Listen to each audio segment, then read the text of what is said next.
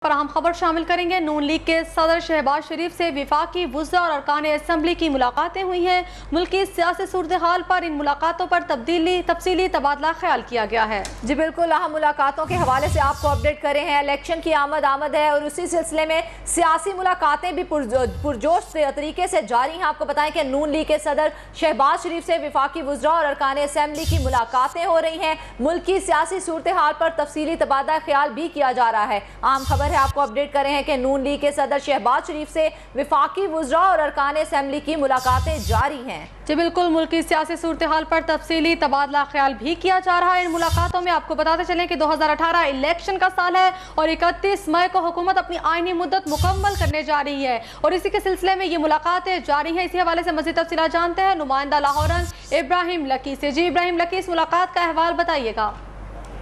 جی محمد نواز شریف سے مختلف اراکین اسمبلی اور وفاقی وزراء نے ملاقات کی ہے۔ ماڈرٹون سیکرٹریٹ میں آج چھٹی کا روز بھی ماڈرٹون سیکرٹریٹ سارا دن جو ہے نا ان ملاقات، سیاسی ملاقاتوں سے جو ہے نا بڑا رہا آج اراکین اسمبلی نے وفاقی وزراء نے ملاقات کی ہے۔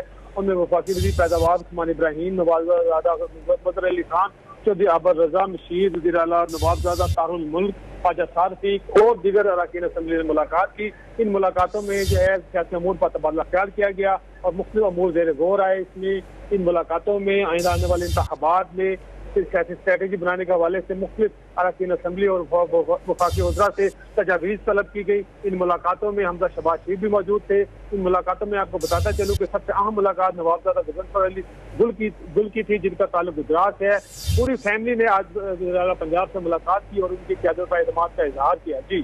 بہت شکریہ ابراہیم لکی، آپ ہمیں تفصیلات سے آگاہ کر رہے تھے۔